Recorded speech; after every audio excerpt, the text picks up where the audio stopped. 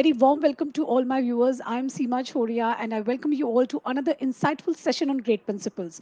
To all the viewers who are watching it for the first time, Great Principals is an educational and interactive talk show that brings together best school leaders from the world.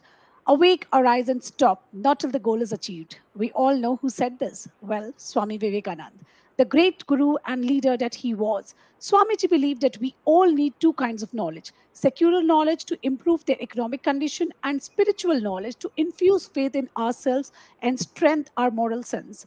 Please join me in welcoming my secular guest who is here to share his wisdom on learning and living, Mr. Kuldeep Surolia, founder, director, and trustee, Sorsfort, Sorsfort Group of Schools, Bengaluru. Welcome to Great Principals, sir. It's truly an honor to have you today. Thank you. Thank you, Seemaji. It's an honor speaking to you. Uh, uh, it's an honor being on this great channel and network of great principals. Thank you so much, sir. We truly are looking forward to an insightful session, and I'm sure my viewers are gain, going to gain a lot today. So let us start where it all started. Once upon a time, you dabbled in the corporate sector for a few years and traveled the world only to return to your roots, and that is your country, India. So, what made you to return to India and become an educator? You know, I was wondering. Uh, I think I was little lucky. I was at the right time at the right place. That was the year 99, 2000, and you know the uh, all the internet and people traveling abroad. I also had many opportunities to go ahead and work, and I made some dollars out of which, because of which I was able to start the school. Uh, my grandfather was a educator. He was a principal of a government school, retired as a director of education. I saw him, worked with him, and was very inspired with lot of his things which he has done, right? written books and all that thing. So there, point, there came a point in life where you know we I had to take a decision whether to continue the corporate world and you know uh, continue to add zeros into my life, um, or you know take a call and retire and do something which is more uh, motivational and linked to my nature of spiritualism also. So the school is something which we are doing it from last hundred year as a family, and uh, it is what we do. Uh, I'm sorry if I if I don't want to sound vociferous, but uh, I come from a Brahmin family. Brahmins traditionally has been teaching from last 3,000, 10,000, 20,000 years. That's their job, I think, uh, in four varnas as defined by Gandhiji. Uh, so I thought that's my job. I let me do my job of teaching, and uh, I came back uh, and uh, I started Sorsfort with just a couple of children, and uh, by God's grace, it picked up and. Um, it's going on now. The Sorsfort group of schools is going on. Our idea is not franchise or chain. Uh, we believe in the models of uh, Shantiniketan by Rabindranath Tagore, Rishi Valley School of Krishnamurti, Harvard of US and Oxford of London. And we look forward that Sorsfort goes in a similar uh, fashion rather than into a franchise or a chain or do that one. We impart a good Sadvidya value education to a limited group of students and make leaders for future. Yeah. Wonderful, sir. I wish you luck in all your endeavors, and I'm sure that uh, of School will succeed in the same direction as you have visioned it for. So, you know, talking about the 2000 year back you know it was the era of guru dakshina and today we don't call it guru dakshina we call it fees. But i always wonder why don't we call schools as business? How wonderful it would have been if education you know not education but schooling was really a business. We could have actually brought in some quality. What are your thoughts on this? Yeah, with a changing perspective, um, if the government permits, uh, uh, school could be considered as uh, businesses, and they could be individuals and people and organization who can run this entity uh, as for the purpose of business. Um, uh, personally speaking, school is by and large a community service. Uh, that's how I yeah. take it, like a temple. Yeah, when you make a devsthan or a temple.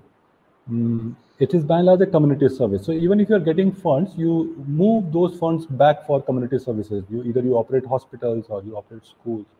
Similarly, my uh, thought process runs that school is by and large a community services, and that's why it is it should be by and large uh, non-profit. Or even if the profits are coming, it should be funded back for the purpose of uh, education. But by the by the way that the things of changing times, which is happening, it is already becoming schools are becoming uh, businesses this is one side of the coin there's another side of the coin also because both sides of the coins have got changed in last couple of decades which is schools have become uh, businesses and parents have become consumers and customers they behave like what service will i get whether my child will have an Yeah. ac or not so you know both side of the coin it's it's very it will be wrong on our part to totally you know uh, tell that schools have or school owners have become both sides of the coin have got changed in the changing world.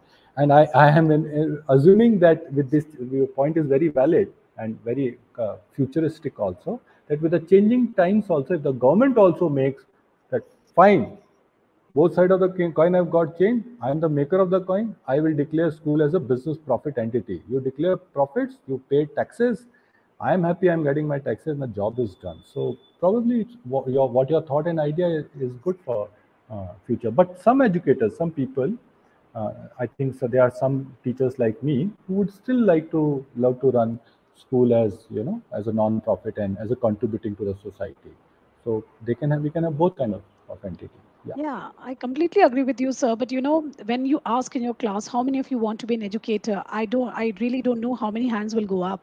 Because uh, education, our, our teachers are not paid off well, and ultimately we all have to learn our livelihood, and all we all want to reach to a certain level, right? And today we see edtech companies; they are ultimately catering to schools and to the students, and they are doing phenomenal. They are being funded crazily, so you know that is how this thought came to my mind why not st- uh, turn schools also into a corporate and i really don't see anything wrong in that so Yes, uh, I fully agree with you, Seemaji, word to word, that uh, schools could be turned into a corporate entity, into a business hub. And moment we are we are asking in the class how many of you want to become teachers, majority of the hands are going up. But when they come to know about the pay scales, uh, uh, you know, they get demotivated and they don't get. But again, here I would point out uh, that uh, uh, the salaries are linked to fees right? Salaries are linked to fees. And when fees in india are heavily regulated right from kashmir to kanyakumari both by the state and the central governments and there are agitation of parents. So you know it's a huge huge huge cap on the uh, this thing. So there's no free hand on that part. So uh, if you give a like um, uh, recently our cur- current government has permitted some of the universities to define their own curriculum uh, and with the target that you should be in the top five universities of the world and define own fee structure and do anything on that point. They have given free hands uh, as a test. If the same modus operandi could be adopted in the schools, you could have one of the best of the best of the schools uh, or you know uh, corporate and um, um, we can pay very good salaries as at par. As far as salary is an issue uh, for the teachers, I assure you this issue is not only in India, this issue is worldwide. Even in Boston, one morning when I got up and I was reading the newspaper, there was a rally by the teachers on the pay scales which they are getting. In in, in US, the salaries are paid by the go- uh, US government itself. Uh, you, we get ten dollar, twenty dollar fees altogether. The fees is paid by the government. Um, now there is no more Guru Dakshina. Earlier, Guru Dakshina was still not given by students. Gurudakshina was given in kind by students, not in cash by students. Earlier, we were getting Dakshina 10,000, 20,000 years back by the king.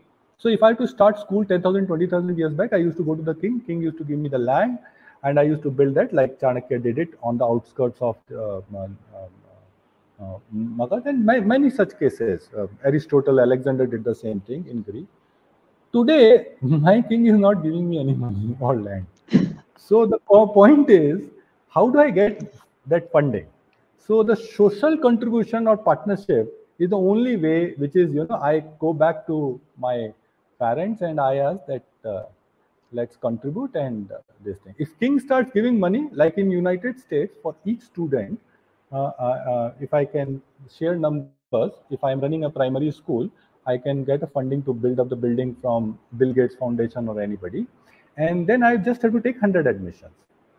And in 100 admissions one year, the government is paying me roughly around $25,000 for each child. For higher classes, $30,000. For lower classes, $20,000. On an average, $25,000 for each child.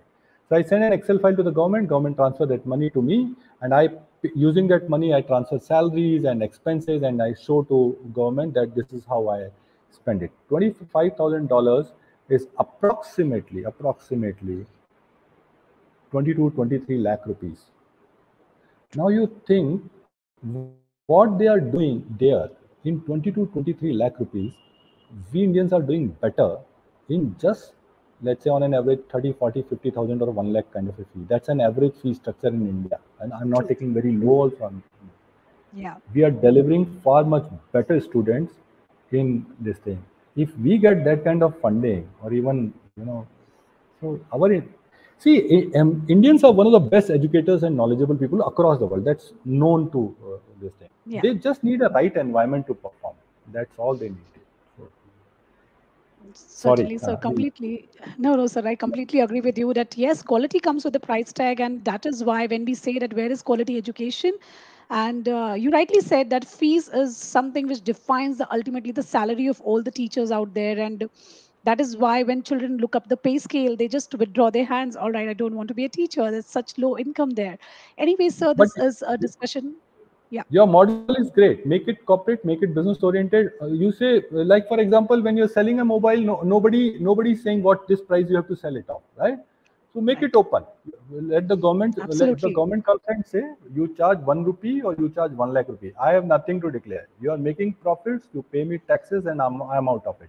It is a parent call. Now today it's not the old times where parents are not educated or well traveled they're educated and well traveled they can take a call. See i can take a call that I need not go to Taj and have my breakfast because it will cost me 2000 rupees approximately. I can have a, my breakfast at a corner good South Indian restaurant within 100 rupees.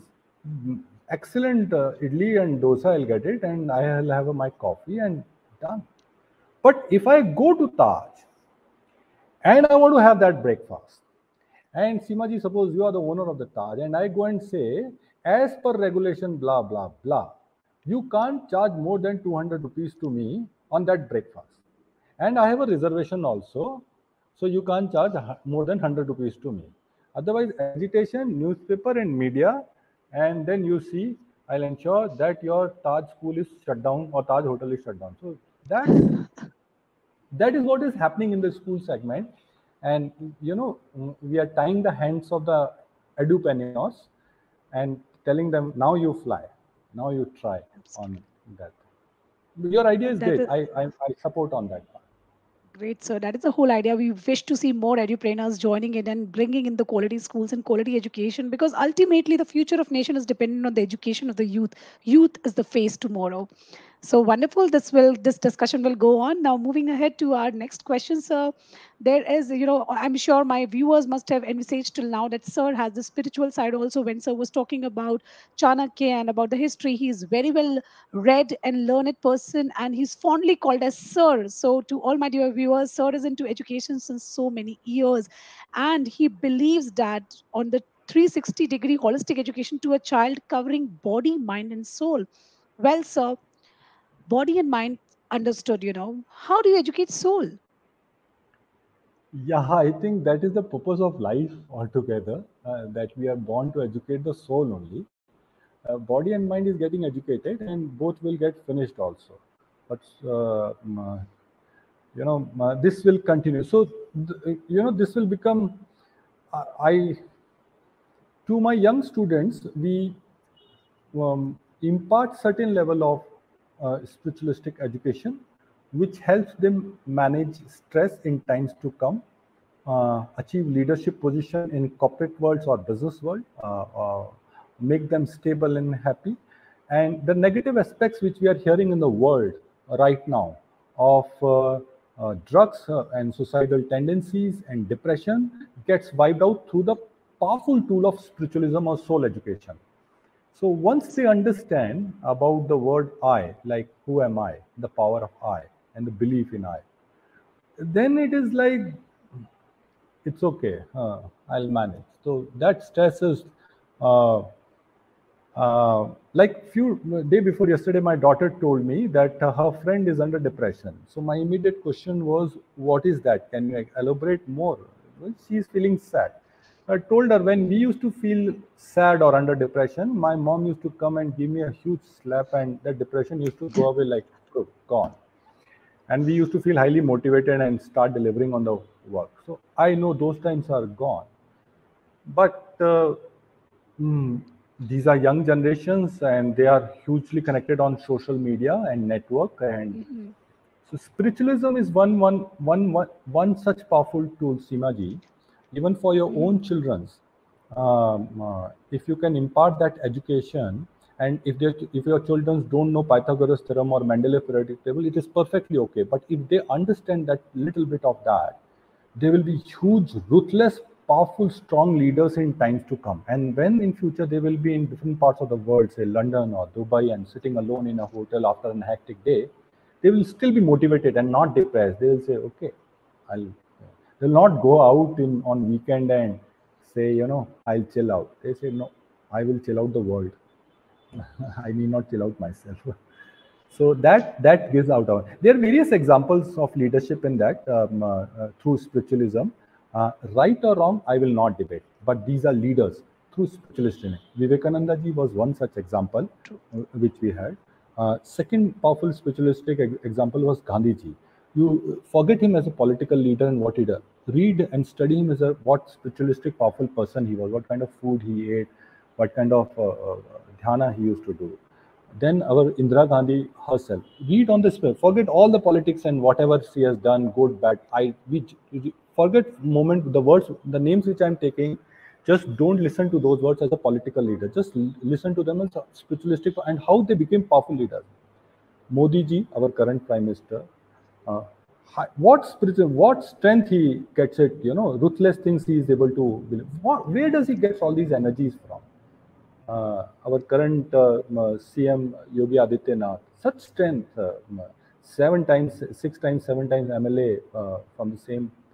So the question, as, as we as a teachers or as researchers come up, how do these guys, you know, or Rabindranath Tagore, the kind of stress he went through it, and then he refused and the story is then how he built on this thing. his family life was also a little, little um, uh, challenging um, at, a, right. at an old age but how he so all that strength come from that uh, you know not from body which is your sports uh, mind which is your education uh, mind is your cramification and learning physics chemistry wala but the soul which is the spiritualistic angle so agar man mein than li to to dunya itself is a very very small thing too target. So it's all sub that, that education we are trying. Seema ji, yeah.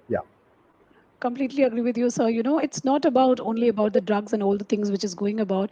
Are they are these days even children have uh, depression and they feel that they're isolated even with the heartbreaks. Every now and then they have the crush and then they are not able to move on. So you know this these are the small small things uh, just small things which they take up and their entire life is spoiled. So yes you rightly said the spiritualism the spiritual aspect. You need to educate the soul so that our children are able to apply the knowledge and they're able to you know generate better to, to be a better human being. And that is why we need the spiritual side of education. It is so great to understand this and to know about this. So this is what is needed to by all in all our schools today that this needs to be replicated everywhere. So moving ahead sir in our conversation sir you mentioned that uh, you know you belong to a brahmin family. So uh, i think our uh, uh, vedas talk about Sadvidya. so what is this Sadvidya, and uh, also i would like to know from you what are the benefits of this sadh vidya Yeah, yeah I think um, mm, when we get born, there are three, even Seemaji, you, me, all of us, we go, to, we are born to learn. That's the purpose of life, right? From childhood, mama, mama, water, we start learning. Mhm, mhm, That's mhm. Vidya. And after Vidya comes the Sadvidya, which is your values of your life. You know, I will not steal, I will not cheat, I'll be mm, humble, and I will uh, serve my parents, I will serve my teachers, I'll serve my country. These are Sadvidya elements which are there. There's huge aspect of it. And the third, uh, this will, so Vidya becomes, you know, running till uh, 20 approximately. Sadvidya is running parallelly onto this path. Then by the time a human is turning 40s and 50s and 60s, the third element of education, which is Brahm Vidya, which is your spiritual education, your connection with your God, you start questioning your existence and purpose of life. This happens with every human being on this planet Earth. uh, by the time they, it's not that the old age is impacting, then you know they start questioning so our life revolves around vidya sadvidya and brahmvidya sadvidya is one element which will give the strength uh, uh, uh, to achieve anything in life and um, i think uh, that's what we should try and teach uh, uh, this, our children on in times to come. Absolutely sir. So sadvidya is something which is needed to be practiced. It's kind of like you know good learning. When i googled about the word i came to know it's called about good it's it's good learning. That is what is sadvidya is. And sir rightly said that this all students need to go ahead in life.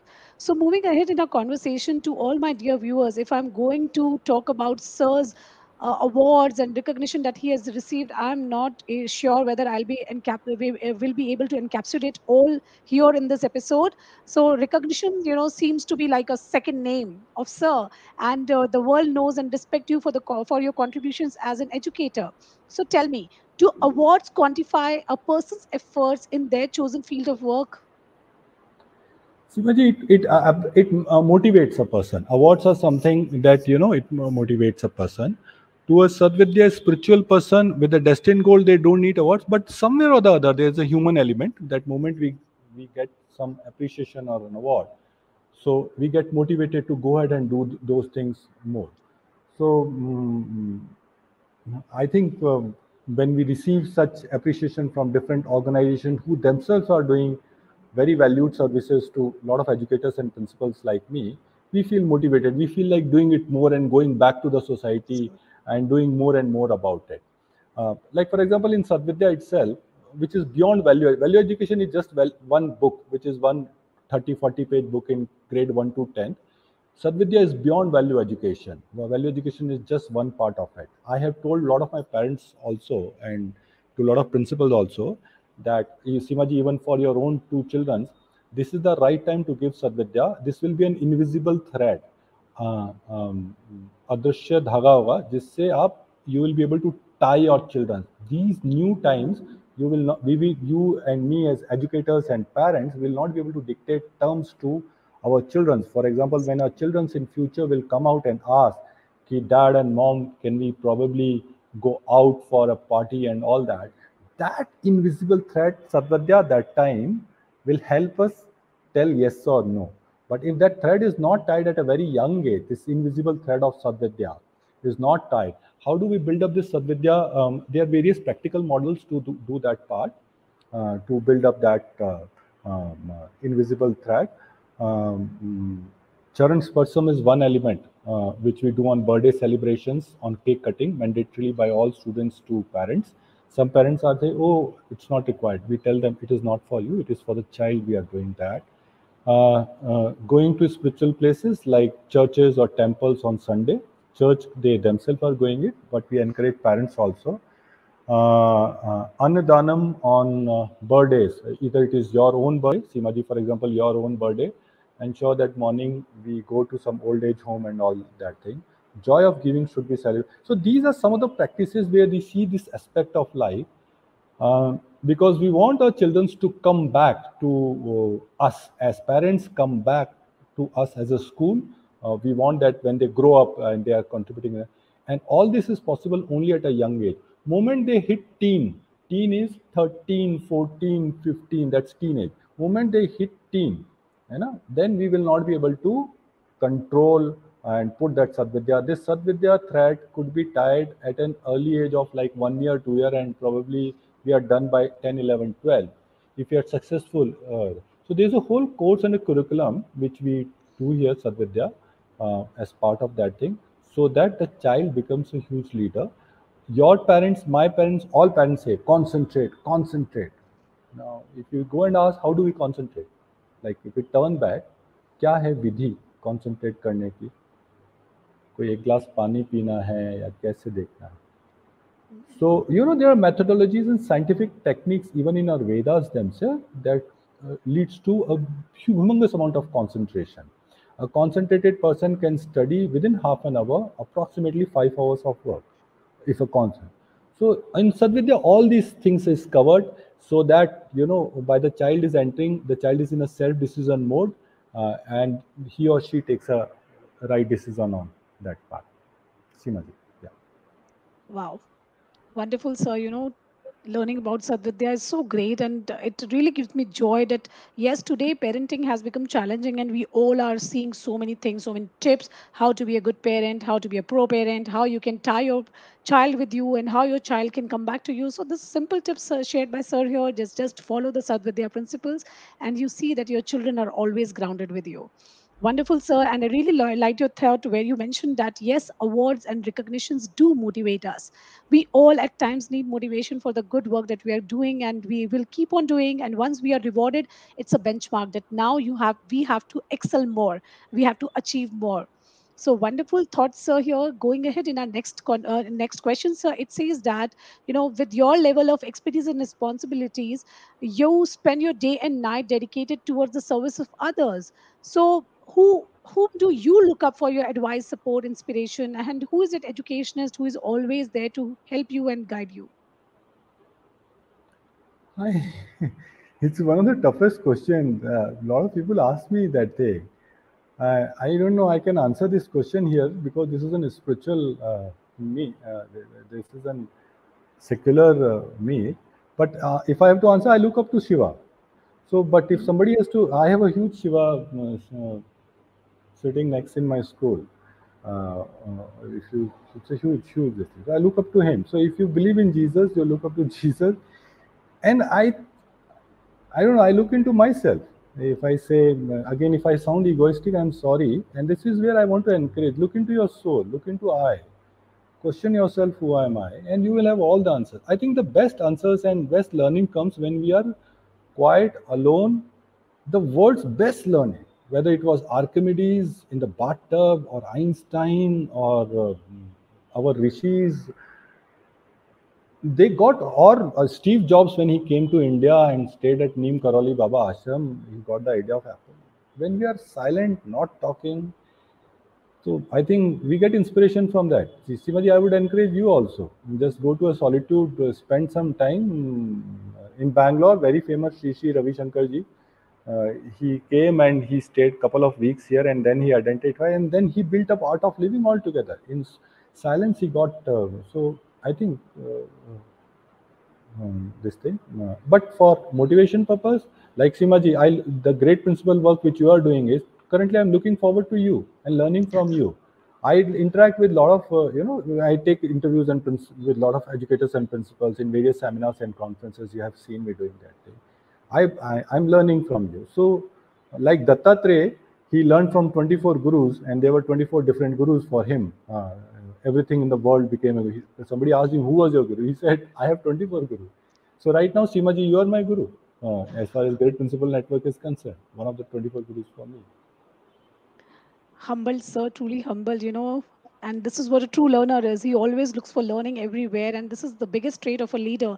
A leader is a lifelong learner and that is what we can see in sir also. And uh, sir i think you said the best thing you know introspect. Sit and introspect. Just look within yourself and all answers are there. You don't need to look up anywhere. And that is when we connect to our soul right? When we are sitting in solitude. So wonderful to all my dear viewers to all my dear students out there take time, just sit quietly and just look inside yourself, look within yourself, and you will see that guiding light coming up to you. So, on this wonderful note, we reach to the very interesting segment of the show, which is called Rapid Fire Round. Sir, you have to answer in a word or a statement. I'll try. I'll try my level best. All Coffee right, with so Seemaji. Coffee with Seemaji. Wonderful. so don't call me Seemaji, please. So yes. here we are reaching to the first question, and it goes like what are your hobbies? How do you spend your recreational time? Doing nothing. Wow. If I could be uh, like three hours, three days, four days, but yeah, one day uh, is good. Doing nothing. One day. I think that's the best thing to do. At times, we all need to just stop, pause, and relax, do nothing. So wonderful. Going ahead to the next question. If I would ask a funny or weird incident in your life, what would that be? There are hmm, there are many uh, uh, funny and uh, uh learning incidents. I am not able to recall right now. Sorry. sorry. No worries, sir. Yeah. A quick tip for our parents out there. A quick tip for our parents out there. Sadvidya. Future is Sadvidya. Forget Vidya, forget Brahmvidya. One word, Sadvidya. To all my dear parents, stick to this Sadvidya and of explained it very detailed in a detailed manner how it is going to benefit to your students and children out there. Going ahead to the next question. One of your hobby is reading. So what do you enjoy reading? I've read avid books uh, in last 20 years. I'm an addict, like, you know, like a, people call me a smoker of reading. So if I don't read, uh, I have a, you know, tension. So something like it. But yeah, last uh, decade I had been more on the, uh, you know, Sadvidya and spiritual reading uh, about uh, how to evolve body. So by and large, it's Sadvidya and spiritual readings which are there of all, from right from Quran to Bible to, you know, their aspect. Um, I, recently, I'm reading Rumi, um, uh, one of the great aesthetic uh, of this. So, by and large, spiritual readings which I'm doing right now. All right, coming to the last question in this segment, which says that the two years has been challenging and tough for everyone. How it was for you? How was your experience of these two years? Oh, it was the best phase of my life, or probably uh, several lives altogether. And my assumption, I have told my friends and people and parents also this would be because we were in isolation best time to learn grab things and evolve yourself so that whenever the opening up happens we, we are prepared for the world in a far much more better and a shining way this was a time to sharpen our pencil uh, shine our gold inside so that whenever the world opens up like for the best example which i can give it to you is i have a very known good friend uh, her name is Seema uh, ji and she is doing all these seminars so when this will open up after two years, because of the lockdown, these seminars are held. When this will open up, it will get converted into physical networking and far much more greater learning, education, prizes and awards. So the foundation, the name has already been laid. So this was one of the best investments which we have done. So two years has been for me and depends on people also. They it was one of the best fruitful times. Certainly, you know, all of us, you know, came out to know what all we can do we actually understood there is so much within us and we are just lying somewhere and not focusing on what where where we can reach. So rightly said sir these two year was full of opportunity along. Yes there was some challenges though but there was a lot of opportunities and those who grabbed it certainly did the best phase of your life. So go this brings to me to the last question of the show. This is called viewers choice question. So my viewers say that all educators and social spiritual leaders have a vision and they wish to lead the world guided by this vision as as an academician and a Vedic scholar, what is your vision? How would you describe your vision for your students? Uh, I look forward to making my students happy uh, which is a synonym of a millionaire uh, or a twisted word of a millionaire. Happy is on happiness question. They are happy.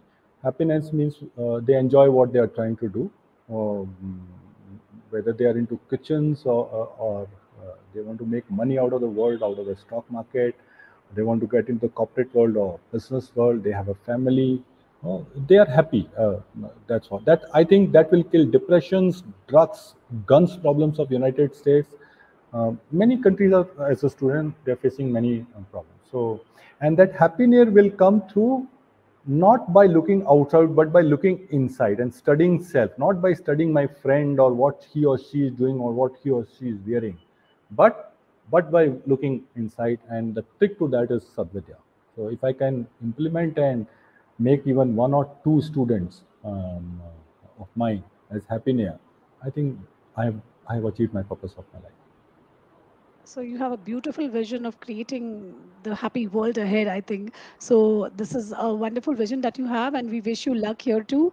So, sir, you know, after this conversation, this amazing, completely thoughtful conversation, what I learned today was we do not learn from experience. We learn from reflecting on experience. And uh, I think thank you so much for introducing me with this gem of a principle of Sadvidya and this experience reflecting and introspecting yourself, finding your true self within you and you know a lot more i learned from you today.